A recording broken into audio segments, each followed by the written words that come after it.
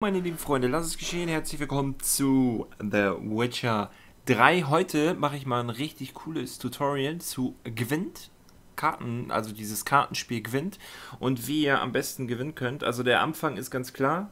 Ähm, ihr könnt, wenn ihr jetzt auf im Spiel auf dieses äh, hier geht und dann geht ihr auf Gwent Kartensatz, dann könnt ihr euch hier äh, schön euren Kartensatz angucken, den ihr habt den ersten Kartensatz, den ihr habt, wird das äh, nördliche Königreich sein. So, und das ist äh, auch der Kartensatz, mit, mit dem ihr so anfangt. Das heißt, ihr habt so ein paar Standardkarten mit gutes Wetter, äh, klirrende Kälte, extrem dichter Nebel und strömender Regen.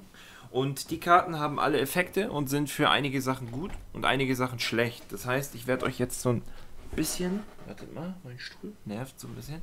Ich werde euch jetzt so ein bisschen die Grundlagen erklären. Das heißt, ähm, ihr könnt gegen fast, in ganz Witcher gibt es viele Händler, viele Schmiede und irgendwie so random Leute und auch sogar Missionen, wo ihr Karten gewinnen könnt. Das heißt, es gibt Epic-Karten, es gibt, äh, können wir hier mal gucken, es gibt Nahkampfeinheiten, es gibt Fernkampfeinheiten, es gibt Belagerungseinheiten, es gibt Heldenkarten, es gibt Wetterkarten und es gibt Sonderkarten. Sonderkarten fallen auch die Wetterkarten drunter. Warte, Entschuldigung. Oder auch andere Sachen, können wir mal gucken hier. Das sind zum Beispiel Sonderkarten Finte, Horn des Kommandanten, Verbrennung. Und das sind jetzt Epic-Karten, Heldenkarten. Die werden mit so einem oben links mit so einem orangenen Dings markiert. Also die sehen natürlich ey, episch aus und sind dann auch ziemlich stark, die Karten. Sind aber, das erkläre ich gleich, okay, da komme ich gleich zu. Dann gibt es, äh, wie gesagt, die Katapultkarten und, und, und. Ähm, euer Deck sollte so aus ungefähr 25 Karten bestehen. Ihr müsst, Anzahl der Einheitskarten kann ich mal zeigen, ihr müsst hier mindestens 22 Karten haben. Dazu zählen nicht die Sonderkarten, die sind alleine für sich. Die äh, Anzahl der Einheitskarten sind ganz normal die äh, Schwertkämpfer, die Bogenschützen, die Türme hinten und die Heldkarten. Das zählt alles dazu. Sonderkarten sind nur die der stürmende Regen, dichter Nebel, klirrende Kälte und gutes Wetter. Dann gibt es noch den Anführer. Es gibt verschiedene Anführer. Es gibt vier Anführer insgesamt, die kann man auch gewinnen. Bei jeder Fraktion gibt es immer vier Anführer. Das sieht man hier. Ähm, ich besitze leider noch nicht von jeder Fraktion alle, außer von der.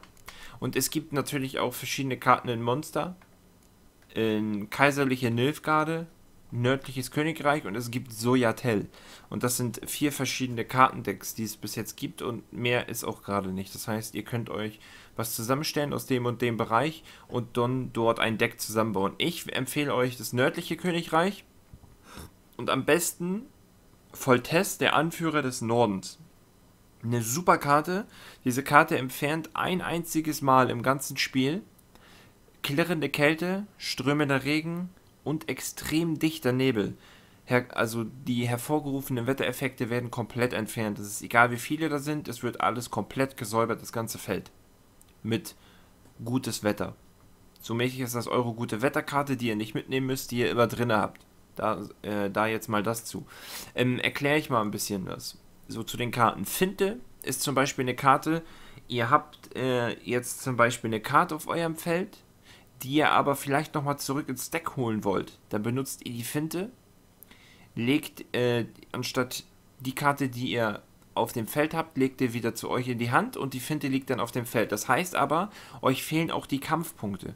Wenn ihr das mal seht, jede Karte hat hier Kampfpunkte hier oben, 15. Das ist jetzt eine Nahkampfkarte, das sieht man auch mit dem äh, markierten Schwert. Das ist jetzt eine Fernkampfkarte, die hat aber auch nur 7 Punkte, 7 Punkte. Und dann sind hier unten noch so Sonderzeichen zu, die äh, auch sehr wichtig sind. Die erkläre ich dann gleich. Ich erkläre erstmal so ein bisschen so die Karten einmal durch, damit ihr das kapiert wie das ungefähr läuft. Und dann zeige ich euch auch nochmal ein oder zwei Spiele dazu. So, und dann ist hier Horn des Kommandanten. Horn des Kommandanten kann in einem Feld, also man hat so ein Spielefeld, das zeige ich euch dann später noch, wenn wir im Spiel sind. Links auf der Seite hat man drei Felder und dort kann man Horn des Kommandanten hinlegen.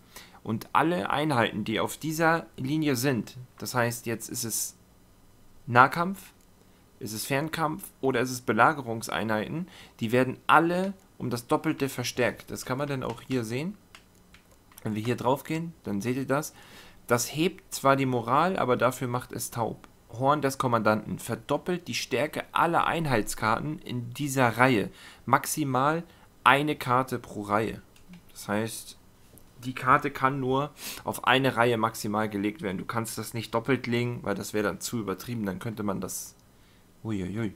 Da könnte man das übertrieben machen.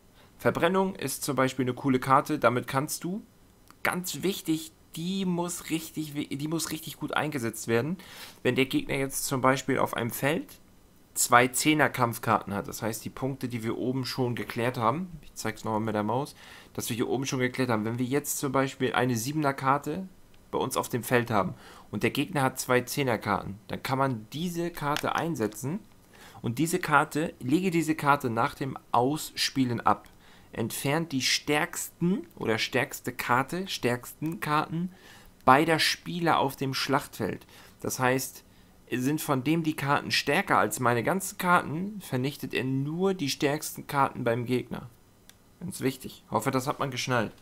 Ähm, was hier noch wichtig zu sagen ist bei den legendären Karten, ist, diese Karten sind ausgenommen von allen Sonderkarten und Spezialfähigkeiten. Das heißt, man kann diese Karten nicht mit dem extrem dichten Nebel, strömender Regen, klirrende Kälte oder mit Horn des Kommandanten oder mit Finte, also hier mit Finte oder mit Horn des Kommandanten oder Verbrennung, man kann nichts damit machen. Die Karte ist 15 stark, die kann nicht von dem Gegner entfernt werden, nichts. Diese Karte ist von allen Sonderzeichen ausgenommen. Das heißt, ihr könnt sie auch nicht mit Horn des Kommandanten buffen, damit ihr doppelte Schaden bekommt, von 15 auf 30.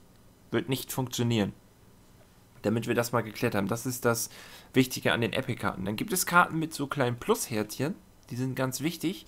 Die sollte man nicht in der ersten Runde spielen, denn in der zweiten Runde, also ihr müsst euch vorstellen, ihr habt eine Runde am Anfang, dann habt ihr halt das, das Spielfeld, ihr legt dann Karten und wenn diese Karten weggenommen werden, weil die zweite Runde kommt, dann wird ja neu Karten gelegt, dann erst so eine Karte mit einem Plus legen, weil, hier steht es nämlich, wähle eine Karte aus deinem Ablagestapel. Keine Helden oder Sonderkarten und spiele sie sofort aus. Das heißt, Helden sind das hier. Das sind diese Legendary-Karten, sind, das sind Heldenkarten. Und Sonderkarten dürfen nicht, das sind Sonderkarten, die dürfen nicht wiedergerufen werden. Aber ihr könnt jetzt so eine normale Karte wie das, wie das hier, die Karte, die Karte, ist eigentlich egal. Also diese ganzen Karten könnt ihr alle wieder auswählen. Das ist sogar sehr gut, weil ihr könnt mit einer Karte zwei Karten rufen. Was super, was sehr, sehr super ist. Dann gibt es noch eine Karte mit sowas hier, mit einem Totenkopf unten dran.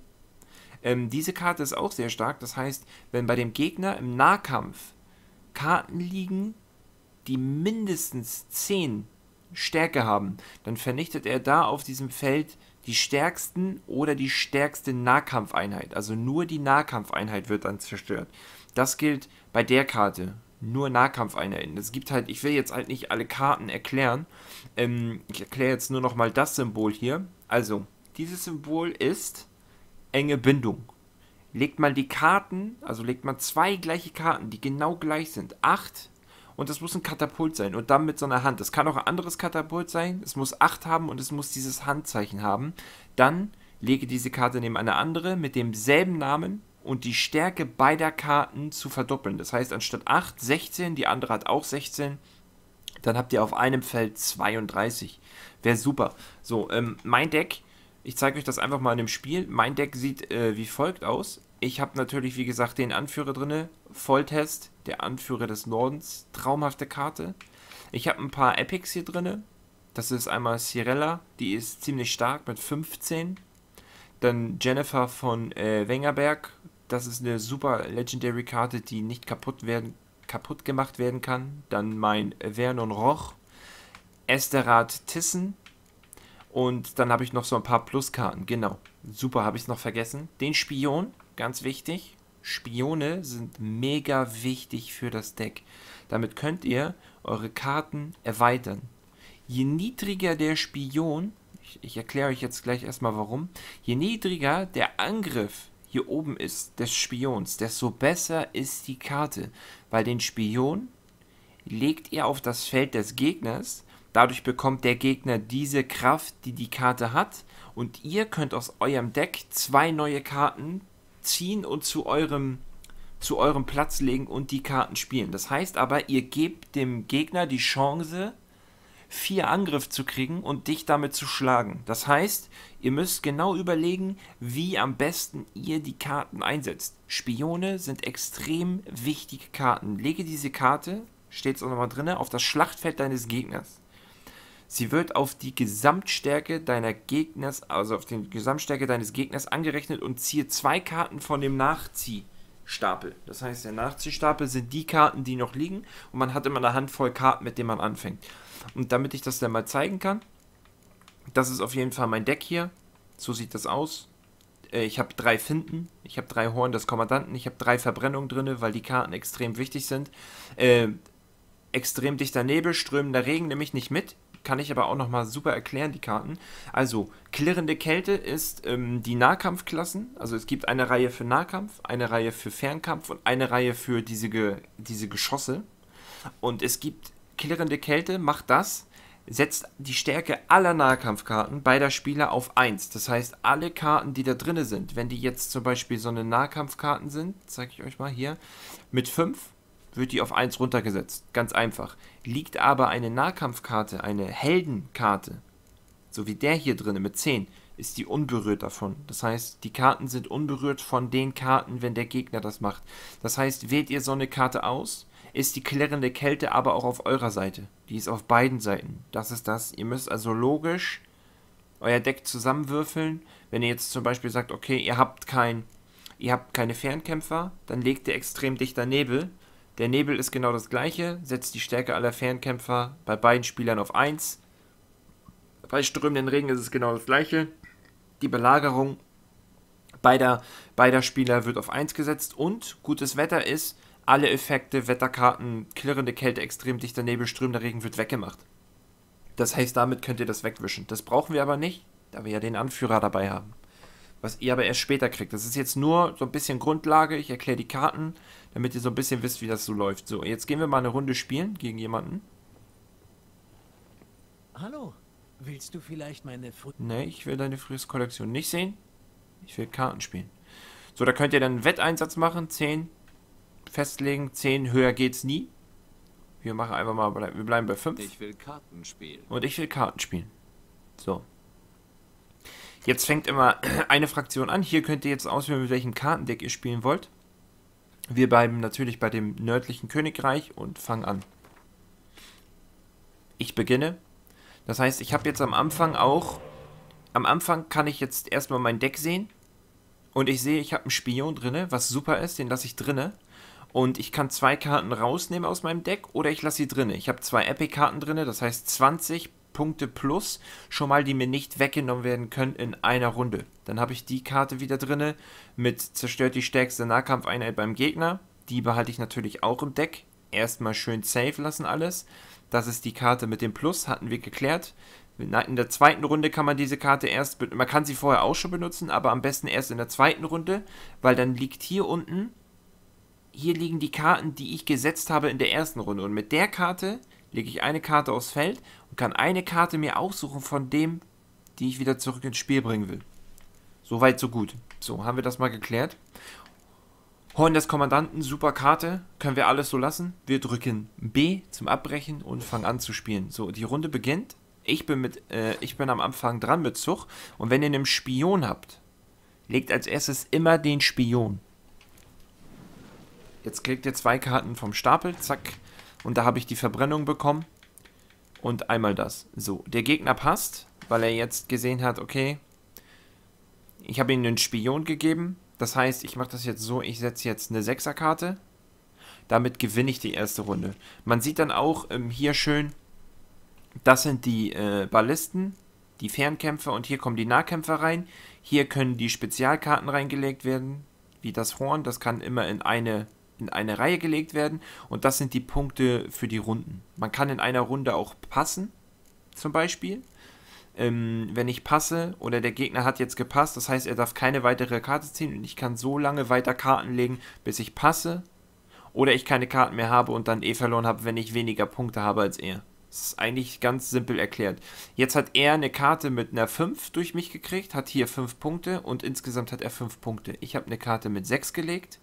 In der Reihe habe ich 6 Punkte. 6 Punkte, ich habe gewonnen. Damit passe ich die erste Runde und gewinne. Ich hoffe, man versteht das alles. So. So. Jetzt kommt der Clou. Ich hatte ja ähm, diese Karte habe ich ja hier jetzt im, in dem Totendeck drin, die ich nicht mehr verwenden kann. Denkste. Jetzt könnte ich diese Karte setzen, die natürlich nur, man sieht das hier immer an dem Zeichen, was für eine Karte das ist. Das ist eine Ballistik oder wie das nochmal heißt, also eine, eine Ballistikfrau. Die Karte kann ich hier reinlegen und dann kann ich vom Deck diese Karte gleich wieder mitnehmen. Dann kann ich gleich vom Deck diese Karte äh, noch wieder mit reinnehmen was ich jetzt nicht gemacht habe, weil ich da was weggeklickt habe. Ist nicht so schlimm. Man sieht jetzt, er hat eine Heldenkarte gelegt. Die kann ich nicht zerstören. Auch nicht mit einen von diesen Karten hier. Da warte ich dann nochmal ab. Ich lege jetzt auch erstmal eine Heldenkarte rein. Damit ich mit ihm fast gleich auf bin. Ich habe 5 Punkte mehr, weil 15 plus 5 sieht man ja immer durch die Reihe. Es wird immer addiert. Er hat Cyrell Jetzt sind wir wieder gleich auf, wenn ich meine andere Heldenkarte noch hinlege.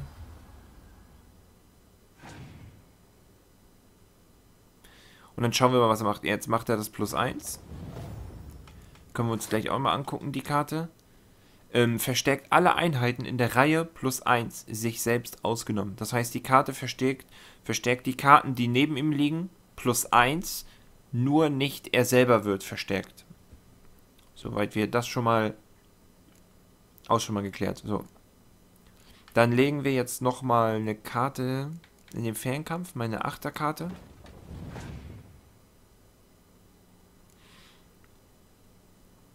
Er legt eine Nahkampfkarte.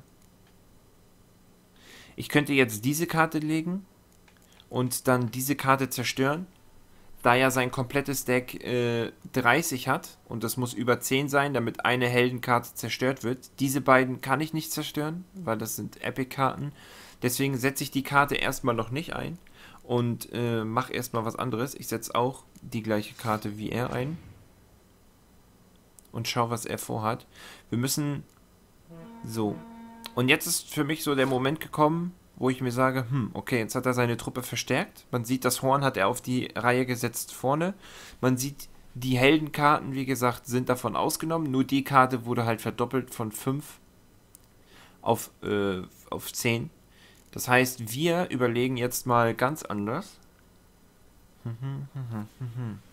Ich muss ihn diese Runde schlagen, weil sonst äh, verliere ich vielleicht. Ich habe noch sechs Karten, das sieht man sechs, ne also links auf der Seite neben meinem Kopf. Da sind Karten 6 und er hat noch 5. Das heißt, ich werde jetzt die Karte einsetzen hier und die 10er Karte bei ihm auf dem Deck vernichten. Das heißt, er hat nur noch 26 Punkte.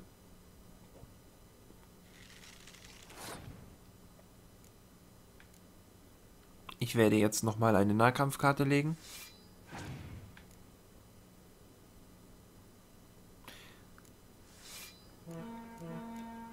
Super. Könnt ihr die auch nochmal sehen? Rittersporn ist eine Karte mit einem Horn, verdoppelt die Stärke aller Einheitskarten in dieser Reihe. Maximal eine Karte pro Reihe. Das heißt, eine Karte in der Reihe wird verdoppelt gestärkt. Das heißt, die Karte, die ihr jetzt gespielt habt, ist eigentlich nutzlos, weil die profitiert nur von dem Horn. Von der Karte hier. Von Horn des Kommandanten. Weil die Karten nicht gepusht werden können. Das heißt, ähm, ich werde jetzt auch mal ein Horn des Kommandanten setzen und natürlich in die obere Reihe, weil die hat 36. Da kann ich aber nur die 7, die 5 und die 4 erhöhen. Wartet mal, nochmal rechnen. 7, 5, 9, das sind 16. Okay, und das sind 13. Das heißt 16. 16 wird dann verdoppelt. Das ist denn schon besser. Hier sind nur 13. Das heißt, da hatte ich ein paar weniger. Das heißt, hier werde ich das reinmachen. Dann werden die verstärkt. Das heißt, ich habe jetzt insgesamt 65 Punkte. Er setzt wieder die Karte nebeneinander. die eine Karte pusht die andere und die andere pusht die andere Karte immer plus 1. Was ihnen aber nichts mehr bringen wird, glaube ich. Ich setze jetzt nochmal einmal die Karte ein. Jetzt kommt der extrem dichte Nebel. Jetzt könnt ihr schön sehen, super, dass er die gespielt hat. Hier stehen dann immer die Ereigniskarten drin. Und hier sieht man jetzt zum Beispiel, die ist jetzt von 5 auf 1 gesunken und die von 4 auf 1 gesunken. Ich könnte jetzt diese Karten spielen, damit würde ich mir aber keinen Gefallen tun, weil die Karten, was haben wir gesagt, zerstören ja nur die stärksten Karten auf dem Schlachtfeld, also auch meine Karten. Das heißt, wenn ich diese Karte jetzt einsetzen würde, würde ich diese Karte zerstören. Wenn ich die Karte einsetzen würde, würde ich die Karte zerstören. Die und die sind eh ausgenommen. Das heißt, ich würde nur mich kaputt machen und nicht ihn. Das heißt, ähm, ich denke mal, er hat jetzt keine Karte mehr. Spekuliere jetzt darauf. Werde jetzt meinen König einmal einsetzen. Dass der Nebel wieder weg ist und ich meine volle Stärke von den Karten wieder zurückbekomme. Und er hat nur noch den Sonnenschein. Und damit hat er eigentlich auch schon verloren dein Gegner, er passt, weil er eh keine Karten mehr hat. Ich bin doch am Zug. Ich könnte mich jetzt nur noch selber kaputt machen. Deswegen passe ich und gewinne das Spiel und hoffe, ich konnte euch damit mal so ein bisschen näher bringen, äh, worum es in Gewinn ungefähr geht. Wenn ihr dazu noch mehr wissen wollt, schreibt das fleißig in die Kommentare. Ich werde alles beantworten. Das war so ein kleines Tutorial-Guide-Ding von mir. Hab mal ein bisschen die Karten erklärt, wie das so funktioniert. Und ich wünsche euch viel, viel Spaß beim Gewinnspielen, denn das Spiel ist super genial, Leute. Spielt das so oft ihr könnt, überall wo ihr könnt und versucht die Gegner zu schlagen. Speichert wenigstens vorher und versucht den einfach immer wieder zu besiegen. Hauptsache, ihr gewinnt eine Karte. Ihr könnt von jedem Gegner, der auf dieser Welt bei The Witcher 3 rumläuft, eine Karte gewinnen. Das heißt, ihr könnt einmal gegen den gewinnen und gewinnt eine Karte. Ansonsten ist es nur noch Geld oder ihr gewinnt Kohle oder was auch immer. Wir können mal sehen. Ich passe mal. Ich habe die Runde gewonnen, 70 zu 37. Dann sieht man die Runden, es gibt insgesamt immer nur drei Runden. Und jetzt habe ich gewonnen und dann sieht man, ich habe die 10 Kronen gewonnen, das Doppelte. Und ich habe Blei gekriegt. Vorher hätte ich eine Karte bekommen und die wird dann immer zu meinem Deck zugespielt. Das ist immer verschieden, was für, äh, was für Karten man bekommt. Ich wünsche euch viel Spaß, danke fürs Zusehen und wir sehen uns beim nächsten Mal wieder. Tschüss, bis dann.